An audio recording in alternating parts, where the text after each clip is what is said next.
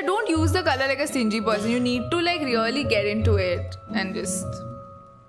Oh my god, wait, oh, what the? Uh, I'm sorry, I thought I was involved in that.